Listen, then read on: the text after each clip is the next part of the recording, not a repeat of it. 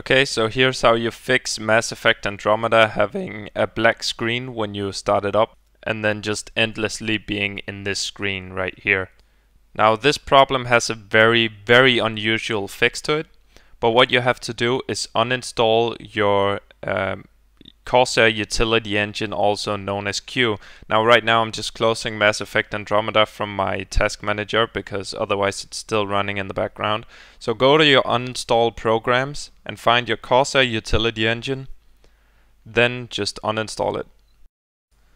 Now don't worry too much about your settings and your macros and so on because you should be able to keep them saved even though you uninstall the program as you can see right here just do not check that box and now we just uninstall. Okay, so now it's uninstalled and all we do is press play and the game should very well work. It's a weird fix, but it works. And you're gonna have to have it uninstalled until they fix it because it doesn't work if you reinstall it. So that's it. Have a good day.